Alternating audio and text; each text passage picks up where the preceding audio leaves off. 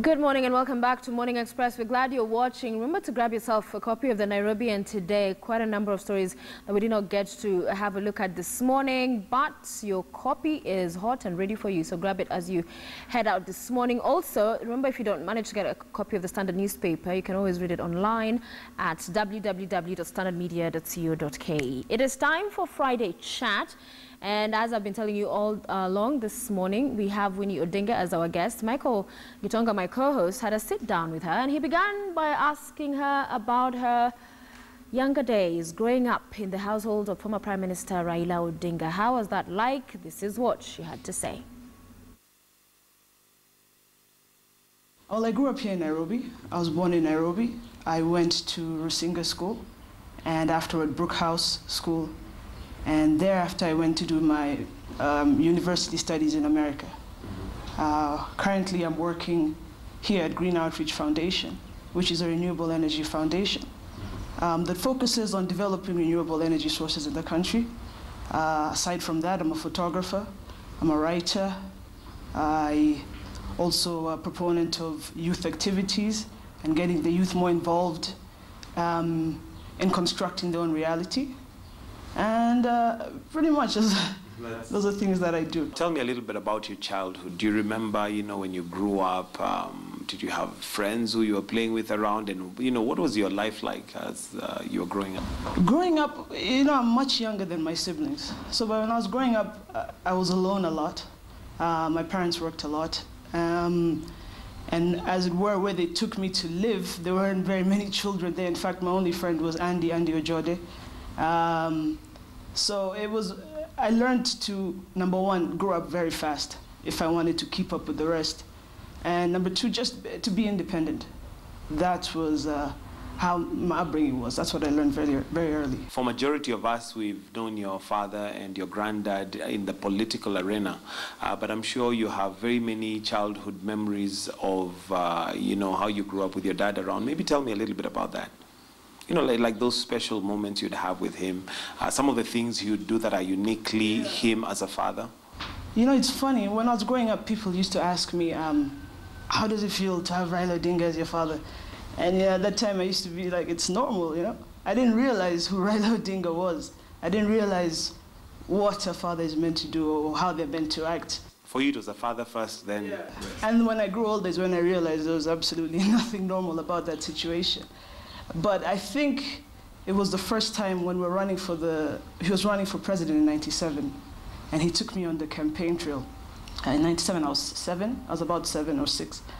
And uh, that time it was NDP, Tinga, you know, mm-hmm. the tractor. And we went to Woodley, and he put me on top of this tractor that drove right into Kibera. So here I was six years old, and I just remember seeing the crowds coming towards the car and, and being afraid but not really afraid because they were, they were smiling, you know, they, they were cheering, they were staring. And then at that point, I think, is when I realized um, who Raila Odinga is, that he's not just like every other father. Um, but I like that he exposed us to those situations earlier, you know, and now it, it was so excited to go for rallies. So I believe that was something that was extremely unique. and he'd also call us up to speak at these rallies, which was frightening at the time, but now I'm very happy because now we can speak in public. But are there some childhood memories you remember? Like, did he used to take you out swimming? You know, did he used to cook for you? Just some of those things that fathers do that uh, we may not see in the public uh, light. He used to, his big thing was traveling. Um, he was very insistent on us traveling, especially traveling alone. But I think uh, oh, he used to take us out. He used to take me out, as I told you, I was much younger, on Sunday to go swimming at uh, Lilian Towers. And so we'd go, and while I was swimming, he'd be in the gym. He's always been a, a gym rat. And uh, that was something that we used to do. It became special like every other Sunday or one Sunday a month. I'd get to hang out with my dad for, for a change. So it was, it was really special. That. Tell me a little bit about your mom because your dad, of course, has been in the limelight for a long time, uh, but your mom is also a little bit, once in a while we see her, but we don't get to hear much from her. Yeah, she's, she's quiet. She works in the background. But I think more so my mother is a bigger influence on me. Um, growing up, obviously, I was with her a lot more. Um, but just the woman that she is, you know, she, she's always been a proponent of, of strong women. And early on, she exposed me to very many strong women, you know. I was named Winnie after Winnie Mandela. And I remember my mother gave me Winnie Mandela's autobiography, My Story, when I was about 11 years old. And when I read it, it, it changed my life, you know, because I, I could see who I was named after. I could connect with her. And it sort of exposed me to this realm of strong women who may not necessarily be given a platform to discuss what they've done. And so I started reading about the likes of Indira Gandhi, uh, Benazir Bhutto. Benazir Bhutto, who was also influenced me a lot because of, there were similarities in her father was also the prime minister at some point. So I think seeing my mother do that and getting out there really exposed me to a lot. Um, and she really influenced me to be, to be the woman that I am today. And uh, you mentioned that uh, you're the fourth born and you pretty much grew up alone because your siblings were not around. Tell me about them. Where were they? They were all in college. Um, Junior is the closest in age to me, Raila, and he's, he's 11 years older than me. So probably when I was in kindergarten, he was in high school. Um, the same with Rosemary, it's 13 years, and with Fidel, it was 17 years. So they were always in college, but they'd write, um, they would call. Uh, I didn't see them as much, but I would go visit them as well. You know, actually, the first time I actually remember seeing Fidel, I was 11 years old. Um, my father sent me to America all on my own, you know. He, was, he used to do crazy things like that. Yeah. So he put me on an airplane. And so I went to stay with my sister Rosemary. And Fidel lived in DC at that time. And I remember walking into his apartment, and he wasn't home. But Fidel being Fidel, his house was full of people, all his friends who had come over. And then he walked in maybe an hour later. And we were so awkward, we didn't know how to be with each other because, you know, I'm a little kid and he's a grown man, but, um, you know, we're meant to be siblings. Uh, and from then on, it was, we, after that, after we got over the awkwardness, we just meshed. You know, he became that, you know, even a father figure in some sense to me. Um, we were extremely close. Okay. Uh, before we concentrate on Fidel, because I've read some articles of how he's influenced you and that you looked up to him, uh, I guess just like you've described after the awkwardness. Uh, tell me about, you know, the other siblings. Did you ever get a time to bond and, you know, Yes. get together? Well, with Rosemary, my only sister, obviously, she, she taught me a lot. In fact, I see her every day now. Um, we're very close. Um, Junior influenced me a lot in terms of sports. As you know, I was a very big sports player. I played on the Kenya national team when I was younger. Junior introduced me to basketball. What, what particular game did you Basketball. Okay. Um, introduced me to basketball, to video games. He actually made me sort of a tomboy. Um, and music, rap music. you know? um, those, I had different relationships with everybody. I still do. But we're all very, very, very close. Okay. Yeah. Uh, you grew specifically close to Fidel uh, before he passed away. Uh, is this simply because you are living in the States with him? Well, I didn't. there other factors? I didn't live in the States with him. By the time I went to the States, Fidel was back here. Um, I, I, I can't say why. We just got each other. We just understood each other, you know? Um, him being the oldest, myself being the youngest, and Rosemary and Raila are very close in age. So those two got along. Um, I don't know why. We just always ended up being together and started building our relationship from you know when I was 11, and we never fought. I think that was it. We never fought because he was always too old to fight with me. You know.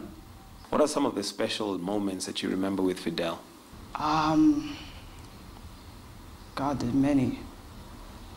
Traveling, we used to laugh a lot. We used to, we usually used to go for, um, like if it's a meeting with my dad or something like that, and to be Fidel and I, and we just, you know, like make fun of the situation or sort of add a light touch to what was going on. We used to laugh a lot. That was our thing. Like, I, I can't really explain it, but you know. Yeah. He seemed to have been a very easy guy, you know, to get along with. He had many friends around him. Uh, did that influence you in any way to who you are today? Definitely. um, he was very respectful of everybody, you know. Um, and it was very important for him to, to not forget where he was from. Or, or, or, and he was very proud of being an Odinga. You know, I, I myself am proud of being an Odinga, but you, you know, sometimes that creates ideas in people's heads of who you are. And so most um, often I go by Kazi. All of my friends call me Kazi. Um, so I didn't really like approaching people as Winnie or Odinga because I didn't want to be judged from that. It almost creates a stereotype. Yeah, exactly. And so Fidel always say, don't be ashamed to be an Odinga. Don't be afraid to be an Odinga. Yeah, you know, like, you know how far the Odingas have come. So um, that, but in his way of expressing that, but still being extremely humble. And he had time, which is, you know, I have to work on my patience, but Fidel had this enormous patience for everybody. And that was something I, I think I'll take away from him. I learned how to be respectful of everybody that I meet. Uh, moving on now and coming back to you, uh, what did you study when you went to the States? When I was in the States, I did a double major. I studied uh, communication, and I also study international business and economics. So I got two degrees in one. Currently, I am doing my MBA at USIU. And next year, I plan to go to South Africa to get a master's in African development.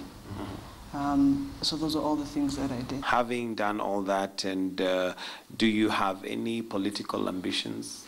Uh, no. You know, when you're a child of a politician, it, it kind of goes two ways, you know?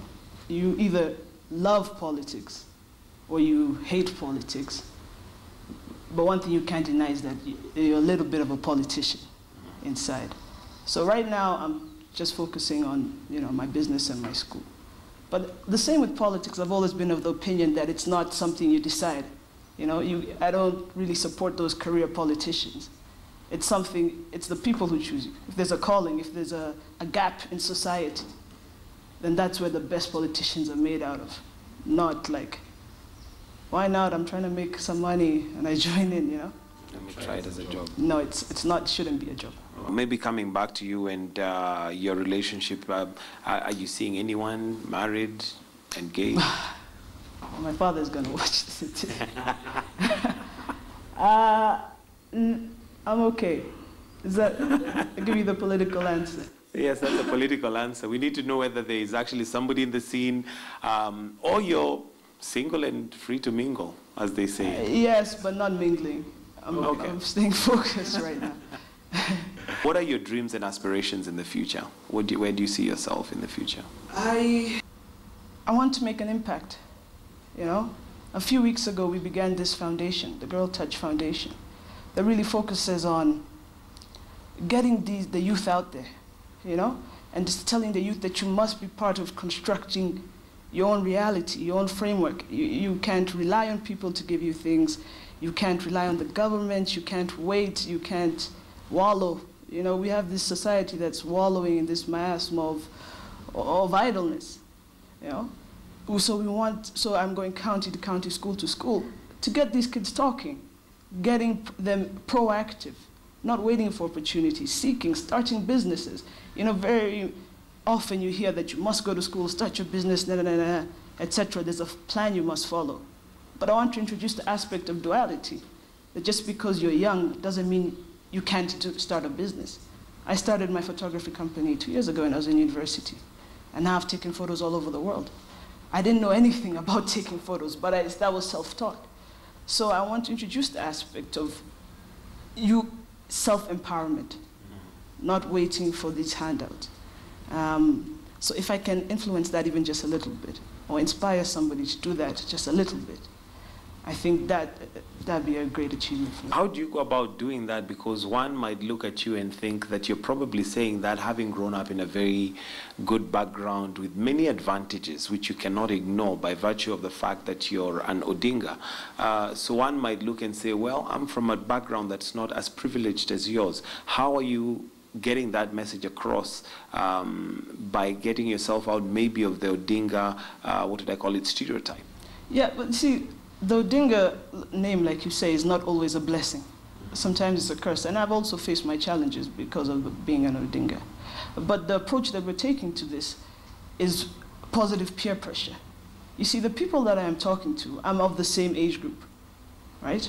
18 to 35, I fit right in there. And the approach we're trying to take is not a top-down approach, which is not your, your, your father telling you to do this, your mother telling you, your principal telling you to do this, but your, your peer, your friend. And that, I think the message is what's important, regardless of what background you come from. Because I know people who have come from very good backgrounds and still are non-starters, cannot get out there. The message that we're selling is self-empowerment. And I think that works very efficiently if it's coming from somebody who has been in their shoes. You know, a young kid who's confused about what's going to happen their future, not knowing what they want to do with their lives. Those are problems kids face all this time. And I think that's a positive way for us to uh, ensure that. Because if you encourage them, then we get things like innovation. M-Pesa began here. You, know? you must encourage them to explore the arts. You, can't, you know, we have a society of hundreds and thousands of doctors, but there are no hospitals, right? And some of those doctors could be artists. You know, you have artists coming out and doing amazing work, or people not even realizing how good their work is because they've not been given that chance or that platform or the idea that you can actually make a living out of being an artist. So truly what I'm trying to sell is self-empowerment. Do you ever get uh, a time where you find it difficult to disassociate yourself, especially when you're trying to drive a certain agenda from your family? As in, you are just Winnie, as opposed to Winnie Odinga. That's when I use Kazi. Is Kazi your name or a nickname? It's, it's, it might as well be my name, but it's a nickname I've had since I was like five years old. Um, and I really had that, and I think every child sort of goes through that, that phase where they're trying to discover themselves. And I think I had that time when I was in university. Um, and that's why I went so far away. Uh, because I did, at that time my father was the prime minister. And I wanted to learn how it is, you know, in the real world. Because, you know, you're sheltered here. And you were sort of handed some things here. So I went out there as Kazi, and I formed my name as Kazi. And um, I think when I'm trying to escape a little bit, is when I go by. You go to Kazi. What, what, what does the name mean? Is it Kazi as we know it in Swahili? Yes. When I was a kid, I was one of those kids that couldn't sit down. You know, always working, working, working, cleaning the house, washing the clothes, cooking, whatever it was. And so I think that workaholic comes from my father a bit. Um, and so my sister said, you're, you're going to be Kazi. What qualities do you think you've taken from your mom? You mentioned that the hard work, uh, you know, is from your dad. What have you got from your mom? My mom is that pride of being a woman, that strength. She always used to buy me these T-shirts when I was small, like anything a man can do, a woman can do better, you know. Um, and I think subconsciously I kept getting those messages subliminally from her. Um, the independence she used to drive, you know, she would drive us to Bondo you know, those days with the stick shift. Yeah, or uh, crazy things and cook and do all those things. But it, she was doing quite a bit. Mm-hmm. And so from her, I just learned self-determination, um, that there's absolutely nothing that can stop me, um, especially my background. I should never let that stop me or hold me back. Um, From doing what you have to do. Doing what I, what I was meant to do. Okay. You know, what I'm on this earth to do. You mentioned that there are some disadvantages, the advantages, of course, and disadvantages of being an Odinga. What are some of those disadvantages? There are a few. Um, like your bill is never the correct amount, you know? What do you mean? like your bill is always a few thousand bob higher. Uh, I'm just kidding. But there's just, um, cert- I don't like people making a fuss around me. I don't, I prefer things a little bit simple. Um, there's certain fusses that come about. Uh, I don't want to get so into this, but there's certain fusses that come about when people hear you're so and so. There's certain places you, you, you, you might want to go but can't go um, because of what the reaction would be. Um, you know, certain, in a way, especially more and more when you're the prime minister, mm-hmm. you can't really live your life. It's always with the thought of you know. You have to think about the repercussions. Exactly. I mean, it, it makes you responsible, but when you're a kid, you know, you want to be a kid. Yeah, you want to be a kid. Are there certain things that maybe you did and you had to kind of like, you know, do them incognito because, of course, you were fearing the reaction, or not fearing, uh, but you're concerned that it might have a negative effect? I'm going to give you the political answer, which is no. The very straightforward child always did what I was meant to do. Which, of course, we know is not true. Rich, I don't know what you've heard, but I always did things the right way.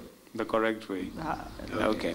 Now, you're one who has a very strong opinion, even in terms of politics. And I remember there's a tweet uh, specifically when uh, there was the ODM um, um, elections, and the, you know they all went bad with the fam- infamous Men in Black. And there was a tweet that you'd put um, online. Tell me about that. I mean, that day I was just tweeting my opinion. Um, but sometimes you, people don't realize you're, you're your own person. You're an individual.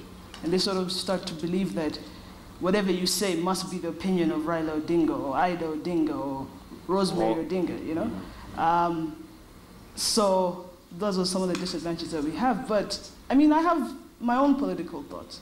I have my own ideas. And that was just an example of me uh, expressing myself. Uh, but I have to be more careful.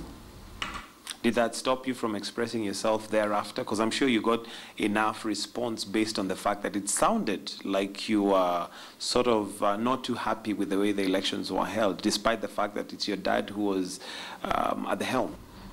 Yeah, you know, we sort of live in a society that is um, very prone, I can say, to inefficiency, to things not working. And I think it's important when people can be critical of themselves and the processes that they've done. Yes, ODM is my father's party. Yes, I belong to that party and I support it. But if things are not going how I want it, I think it's good to reflect and say, hey, we didn't do that thing correctly. This is how we should be doing A, B, C, and D. Um, so I think, I think that's a very important thing to achieve. Do you think or do you feel like so far the party has run well? It has its challenges. You know, being the biggest party, you know, it's very hard to uh, please everybody.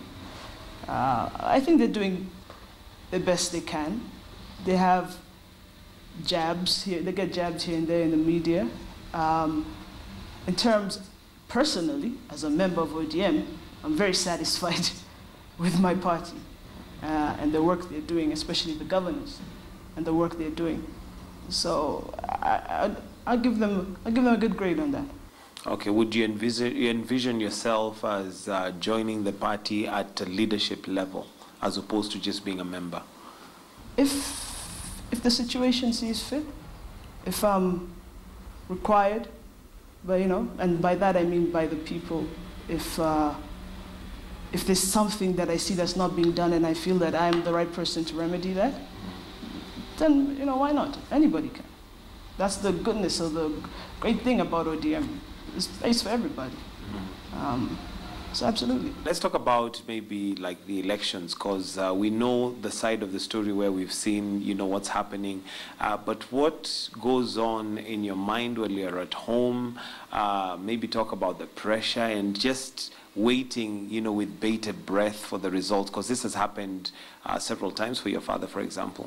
I I always liken them to like a death. You know, it feels like a death in the family. Um, After the announcement or Yeah. during? during, you know, we, we have this thing, you know, and I call it sometimes a disease, you know, hope. That keeps you going. It keeps you going, but it's a very terrible thing to rely on. Because sometimes, you know, it doesn't exist. It's just a figment of your imagination. Um, but after, it's, But how can hope be a figment of your imagination? It's you've you've done the work. You're expecting. you've done the Uh, work, yes, but there's some people who are doing some other work to make sure that, you know, your work doesn't go through. And so it's, uh, it's, it's, it's not easy, but it's not the end of the world, you know? Um, and you also have to realize what is your goal with the election, right?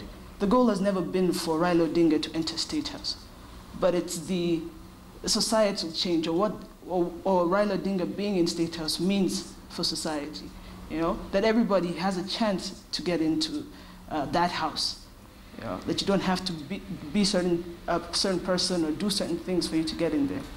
And so even though, you know, the announcement is made and it hasn't gone as we wanted, that's not your end goal, you know, and we still have many years ahead of us. And so, you know, we can keep looking forward, we learn from our mistakes, and every time we regroup and try again. You liken it to a death, and uh, death naturally has a process that you have to go through for you to recover. Um, how does one get through that and how have you as a family got through that uh, to a point where it actually gives you hope although you say it is an figment of an imagination but that hope is what probably gives you as a family the ability to imagine that look we can still uh, make change a positive change in this country. Yeah you're right. Um, i don't know how we What's get through process?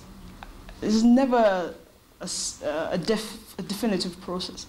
Well, I don't know, time? I'm going to say time. Um, but we, we become very close. Already close, but uh, become much closer. Um, because like everybody else, at the end, we only have each other. So we become very close. Uh, you thought we we're private, we're even more private at that point and just continue getting into a schedule. Many of us, not myself, but my siblings have children, you know, making sure that that doesn't affect them, getting them back in the schedule, going back to work, and just gradually moving on. So life sort of goes back to normalcy over a period of time.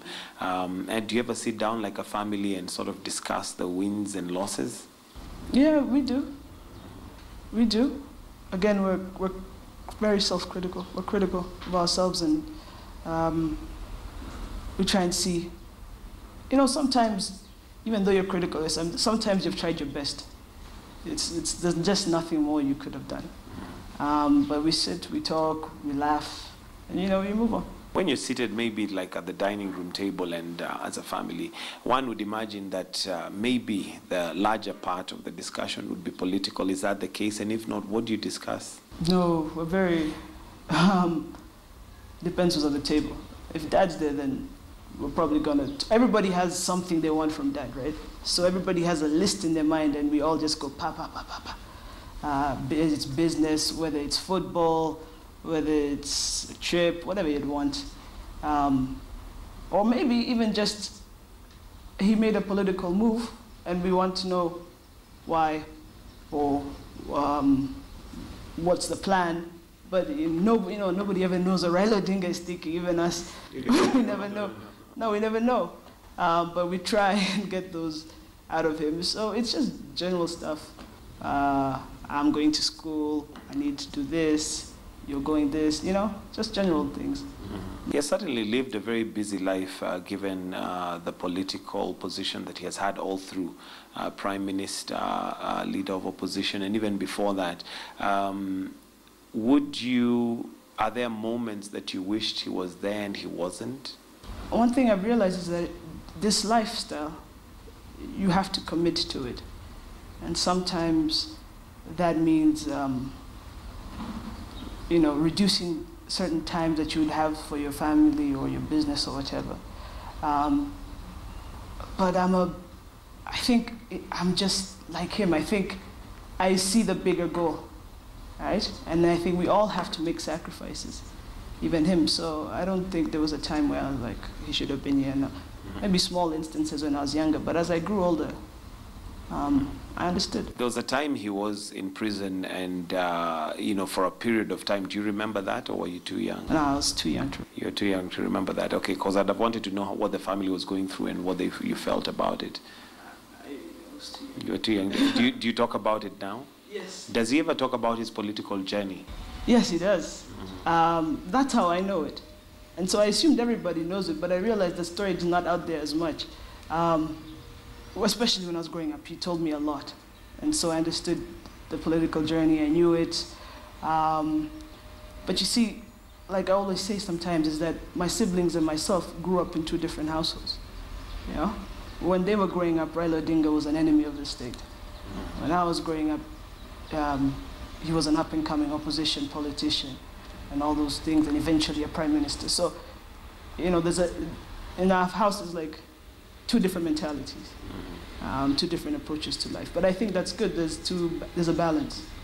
Yeah. The history that you say that uh, you know, but maybe many people do not. What parts maybe don't people know about his political journey? Um, like, uh, you know, the escape when he went to Norway, um, what it's really like in detention, uh, in, in Nyayo House torture chambers, what it's really like.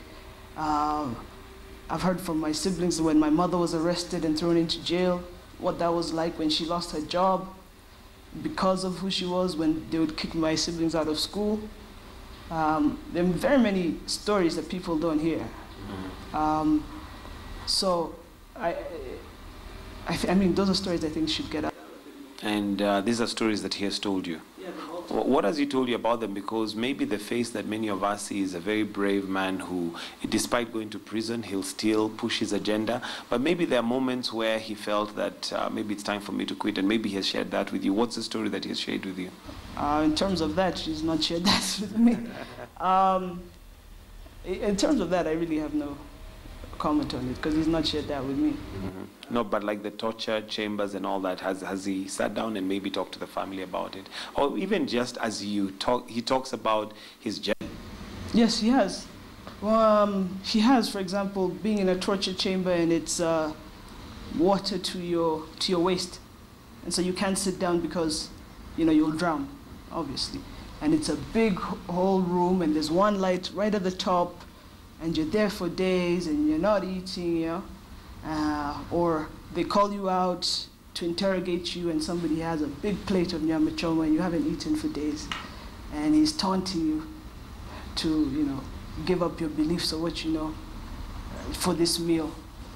Um, and Raila Odinga being Raila Odinga, we all know never gave up his beliefs for a nyama choma. Right. So he's told me all those stories. How does that make you feel um, in terms of looking at now the regime that would take your father? Because we're not, not just talking about a political leader, but this is your father, and I'm sure our view as a country may be uh, him as a leader. You'll go through a lot, uh, but now this is your father you're talking about. I think all of them, knowing what he's been through and you, you want to protect him. Uh, but two, one thing I think he's taught all of us is uh, forgiveness. He's got this amazing ability to, to forgive those who have done him wrong or look past it. Um, so if he's the one who's been done wrong and he's not over it, who are we to still hold on to that anger? And he's now over it, rather. So um, I think with that, you know, and also it's good, it's therapeutic. When you don't hold on to pain and anger, all these emotions, it's therapeutic to move on and find a way forward. So, would you say you've learned that ability to forgive and uh, move on in life despite people trying to pull you back from him? Yeah, absolutely. Absolutely. How does that influence your life today? How does it affect your day to day living? I get up. yeah? I get up and try new things. You know, this has to be one of the hardest years of my life, losing my brother. Um, but you get up and just keep going every day. You know, remember, like I keep saying, there's the end goal. There's something everybody wants to achieve. And just keeping that in sight is, is a good way to move forward. Where do you see yourself in uh, you know the future in many years to come? What's your ambition? Where do you want to be? you know, I'm in energy right now. So if I could be further up the chain in energy, absolutely. Um, I don't know. You know, Are you in energy by choice or inheritance? Is it maybe a business that you've inherited and uh, no, it's a business I began. Um, it's by choice, definitely. It's a business I began. I want more people using renewable energy um, instead of us cutting down trees, uh, getting clean energy, water, solar, biogas, whatever it is. And so I saw the need for it, and I'm really trying to push it now. Okay. What what brought you into energy? What gave you that idea? Especially given that uh, you studied something. Okay, you've studied business, but energy is a very specific uh, area. I feel like energy is one of the pillars that we need to move as a society. It, it runs everything, and once you get the energy right, especially if you know if people have powers in their, power in their homes, then you you you can now begin. It's a platform to begin worrying about other things, other infrastructures, because I mean, we see so many inefficiencies in the system, you know, be it frequent power cuts, be it um, traffic, you know, or uh, going into a mall and your car is searched, you know, boarding a matatu and you're, you're searched, things like that. There's so many inefficiencies in the system. And so I think we have to correct this inefficiencies. And I believe one way is by educating people, right? And there are many mediums you can educate people television, computers, radio, whatever. But for you to reach the people, they need the energy. And so it, it's like a long thought process. Um, but I think everything leads back to it. Okay, you've talked about inefficiencies, and of course, as a country, we have various and many and numerous challenges, especially in terms of our leadership. Um, but first, maybe just to get your opinion, what do you think of our um, leadership currently, politically speaking? And this is across the board. I think there's too much politics. There's too much politicking. You know, there's too many games, and I think there are too many egos that are dying to be satisfied instead of people actually working. You know, like I said, there's inefficiencies in the system, right? But you're not even given the chance to try and alter these things. You know, corruption cases come up, people are making noise here, social media is going off, when really we're focusing on all the wrong things instead of of actually helping the system, but not to completely blame the political class. I feel as citizenry, we're not doing enough. You know, I was with my German friends a few weeks ago. And he said, if you want the system to work, you have to be a part of it. So if you want the system to work, we can't always be criticizing it, but be a part of it. You know, if the traffic light is red, don't drive. You know, mean stop. mean stop. You know, just small things like that. Um, so I, I feel like those are the, the issues that we have that we must overcome. Um, there's too much division and there's too much uh, immature play instead of actually getting down to work uh, and, and, doing things and sorting things out. One might argue that you're in a very good position um, to make a very positive change and use uh, what you know and what you have to make you know a positive change in this country. Um, what would you say to that? It's possible. Um, if I can, I will. Um, I don't, it's possible. If I can, I definitely will. Um, but I also feel that everything has its time. You know, you don't climb a tree from the top. Everything has its time and its place. Um, and I'm still learning. Given an opportunity, you would actually use the position that you have to make a change? If I could, absolutely. Uh, it would be selfish of me not to. If I could make a positive change that could help my country, absolutely. Do you consider yourself patriotic? Yes. Jingoistic sometimes. Whatever that what does that mean? Extremely patriotic. What are some of the uh, attributes and things that you'd say uh, define you as a patriotic Kenyan? Um, that's a very good question. I, I don't think it's, uh, this patriotism is a public display. I feel like it's a personal uh, feeling, you know, what you feel for your country. And you know, sometimes people, this politics clouds the mind, and people say, I, I don't want to be Kenyan, the system doesn't work, etc. Uh, but forget about that and think of Kenya as itself. You know, our animals, our tourism, our rainforests, our savannas, etc., etc. Those things that people fly miles to come and see, pay thousands of dollars to come and see. Those are ours, and so we must claim ownership of these things. All right, um, and that's those are things that I feel for this country. Um, ownership and pride in, in what we have and our diversity. You know, 42 different tribes, numerous languages. Where else do you get that? I think that's an incredible thing to have. And we sometimes forget that we have these good things and focus on the bad. But if we focused on these good things, our tourism industry is dying. And instead we're making noise about this. Let's focus on this. Elephants are being killed and one person is fighting for them. Let's all fight for these things. You know, we have to have accountability and responsibility. We always say, oh, the government is going to do it. Oh, the government is not doing it. Then you do it. You know? Why do you have to wait? And you say, I'm not elected. You don't have to be elected to make a change. You know, just be a good citizen. Okay. can still do something from wherever you are. Okay. Now, the current political leaders we have, uh, and more specifically, uh, maybe the age of your father, um, are an older generation, obviously, a generation um, uh, from, from you, maybe even two generations uh, apart. Uh, what would you advise in terms of changing the political landscape in terms of the age group that we have? Because obviously uh, ideas have changed, ideologies have changed over time, and if we maintain uh, the, the older generation, not that we'll do away with them completely, uh, but there is a risk of not having anything new coming up. I think whether old or new, it's, uh, we need a whole transformation of a mindset. Because you can still have young people and their, their ideas are no better than the old people. You can still have young, corrupt people, you know?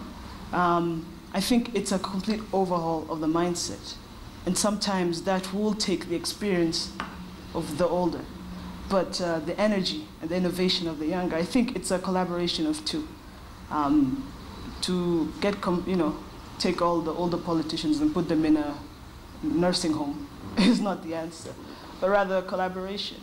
Because we have seen how sometimes the younger politicians are a bit reckless in their ways, in their mouths. Um, I think bringing these two together and learning from each other is what is needed, especially learning from each other, learning from the younger, the older learning from the younger generation about what's new, how we need to do things more efficiently, right?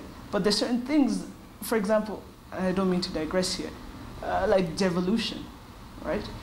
Instead of people coming all the way to Nairobi, we have this high rate of rural to urban migration.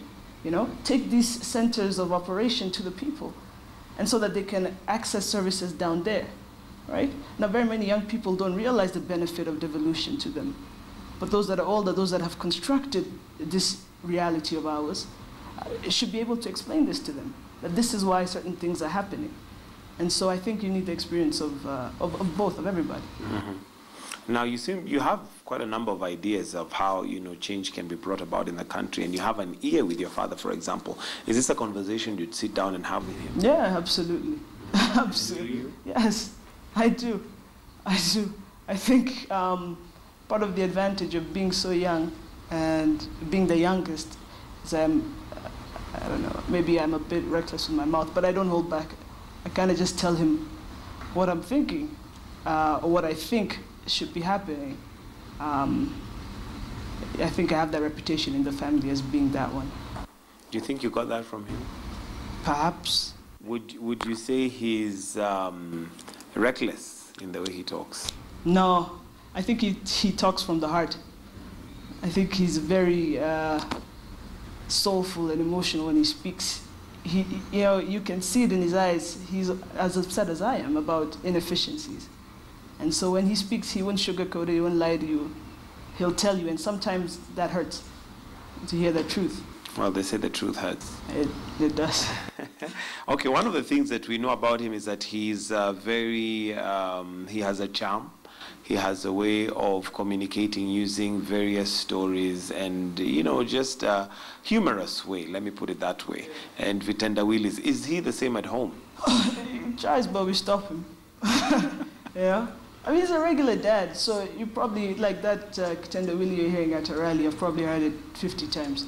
You know, I can recite it verbatim as he's saying the speech. You can repeat it after you. Yeah, so um, he's, he's like that, he's, but he's not so much like that. Um, with him, he's always, I think he's always, he's always giving us secret challenges that you don't realize is a challenge until after it's done. Trying to teach us things, but never directly. You know? He'll always throw you here and there. Give me an example of some of those, uh, you know, challenges that he'll throw that are not direct. Like some of the people he, he'll introduce you to, you know, he'll tell you, you have to do this, meet this person, he's going to do this and this and this and this. And you go meet the person, but the person has absolutely no interest in that field, has no experience in that field. Um, you end up finding that it was a waste of time, but really what he's trying to do is expose you to uh, different characters out there, you know. Um, it's always something like that, or I, I can't really think off the top of my head, but it's always some form of lesson behind everything. Mm-hmm. Tell me a little bit about your mom, Ida Odinga, and uh, maybe some of the influence she has had on your dad to where he is today. Ah, she's the backbone. My mom is the. Like, I don't think we'd function without her. Um, sometimes, well, the, roles switch depending on the situation, but somebody's the voice of reason, the calm one, and uh, she, she's strong. And I think of all the things Raila Odinga goes through, I think the person who gets the brunt uh, is Ida mom, really, because she can, she's seen it all through, and her life has been affected because of it, and her children's lives have been affected because of it. Um, so she's really the, the pillar of our family. What are some of the lessons you've learned from her that have kept you going and kept him going? Um, she's very prayerful um, spiritual. Uh, but uh, eh, not in a you must go to church type of way, but finding inner peace, you know, with your religion or with your God or whatever it is. Finding inner peace and using that inner peace to not let anything knock you off your equilibrium. Yeah? Don't let day to day stresses, don't let somebody put you in a bad mood. Um, I think she's taught us all that. And uh, going back to Fidel, did he ever have political ambition, do you think? Yes, he did. Um, I believe so. We used to share a lot. Um, he did. And uh, I mean, it's unfortunate. Um, but that's, that's you, you wouldn't want to follow up maybe on some of his dreams? They, you know, just like you said, they were his dreams. not necessarily my dreams. Um, but definitely honor him in any way that I possibly can, honor his memory, um, do things to make him proud. Because out of everybody, well, my sisters, well, they, they really push me uh, to, be, to be the woman that I am today, to express myself. Like I told you, as a writer, I'm a photographer. Have one of my, that's my photography book. Um, oh, you have a book as well. To show my talents to the world. And so I think one way would be to exp expose myself just a little bit more. Um, I think that would make him proud. Tell me something that maybe we don't know about Winnie. we can take just a few. Some of those that are not known to the public, I'm sure there are those things that uh, uh, we just don't know about Winnie Odinga. Uh, photographer. Uh, I can't. What? Oh, you're a poet? Okay. I write my poetry, mm-hmm. uh, spoken word, really. Um, and do you perform? I used to. I haven't really found the venues. Um, but if there are some, I hope somebody would invite me because I've been looking. Maybe you can just do a bit of spoken word. No, no, no. That's for another form. No, come on, Win. You, you can do this. It's just putting you on the spot, but I'm sure you can do a little bit, whether it's on the political arena, whether it's. I don't have anything off the top of my head right now. No? Because I thought spoken word is one that is literally just done as you go along. Yeah, but I'm not going to do it. I think I want to I wanna make sure my message is heard. And it's clear. Okay. What else don't we know about Winnie? And her ambitions and her plans and I don't know, you know, this works better when it's question answer. Um, okay, what makes what what are the things that make you get annoyed about maybe our country? What are the things you love about the country? I know you've, you've mentioned our wildlife and uh, you know uh, patriotism and all that, but maybe what are some of the things that really annoy you about Kenya that you would want change? I, like I told you, again, sorry to take it back, but basically the, we're inefficient.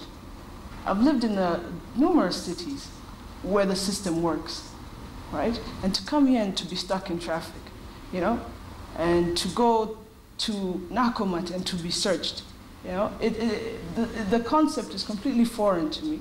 And the fact that we have accepted it, you know, we sort of accept everything we're given, you know, and that's not right. When, when, a, when a sick person is walking to a hospital and they're searched, right? But a GK can just drive through.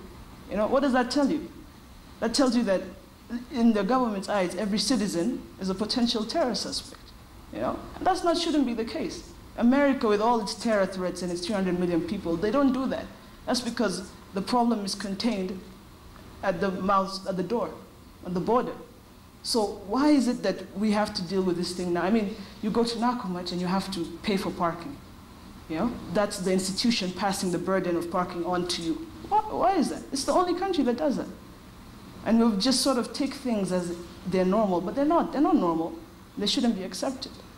You know, we shouldn't live in a state of fear. Yesterday I went to the movies, and for the first 30 minutes I was looking at every exit and trying to figure out if anything happened to me here, what should I do? Where would I go? What am, that shouldn't be. You shouldn't live in a state of fear like that and say everything is fine. It's not fine. And I think those are things that. Um, Where are we going wrong? Why is that something that we have uh, become lethargic and accepted? I think it's years of this pressure, you know, years of this. Um, I mean, we're obsessed with politics. Yeah, the news is complete politics. You know, there's nothing else in the news. Everything is politics and everything is negative. You know, when those, when the, sorry to say, when, when you, when you guys were off, it was like a relief. Yeah, because you know, if you constantly have these mediums everywhere that are constantly telling you this and bad thing happened, this corruption case, this murder, this car accident, what, what, what, it must take, on some level, an, an effect on, on the person, on the being. And so I think we've become so used to hearing bad things that we expect bad things, that we don't even know what good things are anymore. You know? Your, your road has two potholes, you're like, wow, this, this is not a bad road. Know? Why? You know? Your road has, like the new Kileleshwa bypass I see has speed bumps. Why do you have speed bumps on a road like that? Or on a highway, like just before junction there's a speed bump. Why is there a speed bump? You know? Why can't we just drive normally? You know? So things just keep happening and we're just like, yeah, okay. So would you blame it on the media? Has the media given such a negative uh, perspective to a point where Kenyans have lost hope and accepted fate? I don't want to blame it fully on you because I don't want you to like switch the story on me and tomorrow I'm the target. Um, but definitely, I think sometimes they can be slightly irresponsible with how they report news. Um, they, uh, you know, stir emotions.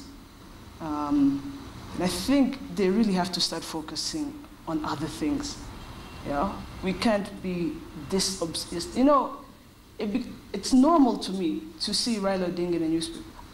You know, in fact, there are times I used to read the newspaper just to find out where he was because his schedule was too busy. But it's abnormal for me not to see him then. Why? Why is he always in the newspaper? Well, why, why, these, why is it always politics? Why are we not talking about um, these kids started a foundation the other day, right? This swimming gala did well. I mean, it's not real news, but just things like that. Why, why aren't we talking about those things? Positive things. I mean, we're 40 million Kenyans. Are you telling me there's absolutely, there are not even 100,000 that are doing good things every day that we can't write stories about them? No? Well, one might argue and say that it's the politicians who want it that way, and you know they're out to make sure that we receive and hear them. That's a good point that you're saying. That means that your media houses are compromised by these politicians, because it doesn't matter what they want. If you're independent, you put what you want, isn't it? Am I saying the truth? You are. So, I think that's where the problem comes back. Mm-hmm. And now, where does the change begin? Because surely it can't just be the media that's uh, to blame for where we are today, the apathy that we feel as Kenyans. You've just talked about traffic. I mean, you can sit in traffic today for three hours and tomorrow, business as usual. Nobody will say a thing. I think it's a complete overhaul. For example, traffic is a long conversation that we have to go into, and that just goes down to Nairobi City not having a single plan in its whole entire being. There should be a plan that would take maybe two, three years to develop. Once you do that, once you also deve uh, develop devolution, right, and seize or at least slow the rate of this rural to urban migration, then you're able to develop centers with fewer people in it. If you can move people out to Kericho County, to Garissa County, to Mombasa County, whatever it is, right, and free up the space in Nairobi, then you can do it. You know, a few years ago, my father was doing the slum upgrading in Kibera, and it just got done a few months ago. When he was doing that, I mean, the influx of people coming into immigration, into the slum, is hundreds of times larger than what you can build. So how you meant to build and all these people are coming in? You, you can't fight it. So at first we have to stop that. If you stop these people coming in, then we deal with the problem of traffic, uh, of overpopulation. That will help with distribution of power, you know, electricity, water services, garbage collection, um, all that. But we have to sort of slow down and disperse these funds around the country. If you were given an opportunity to speak to our political leaders, your dad included, what's the message you would give them? Just exactly what I've said. Focus. Yeah? Focus. I feel like uh, a lot of the times, again, these egos need to be stroked. Forget that. F- deal with your mandate, why you were chosen, and work. But if their egos are being stroked, it, it's you and I as the citizenship who are doing that. If, you, if you feel like the leader you elected is not doing what you elected them for, don't vote for them. You know? If somebody gives you 2,000 bob for your ID card, don't, don't take it. Say you're going to vote. You know? Or 2,000 to go in there and tick, tick yes or no. Take the 2,000, but go in there and tick what you want to tick. Do you know what I'm saying? Don't be influenced by this money. We've created this society where it's money, money, money, money, money. Everybody needs a handout. Everybody is demanding a handout. It shouldn't be like that. You should be able to, you know, be self-sufficient. Go in there and think for yourself and do what's right. Because at the end of the day, you're the one who's still staying where you're staying. You're the one who's having problems feeding your family. All right, thank you very much, Winnie. I think it's been a pleasure talking to you. Uh, anything maybe you think we've not covered? I believe we've gotten everything. Everything. We've gone 360. All right, thank you very much. Uh, we appreciate your time.